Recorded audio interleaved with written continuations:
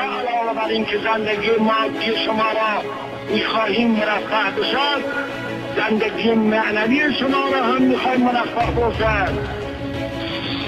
خوش نباشید که مسکن فقط می‌سازیم. آب و برق را مجانی می‌کنیم اتوبوس را مجانی می‌کنیم. دلخوش به این مقدار نباشید. معنویات شما را روحیات شما را عظمت میدیم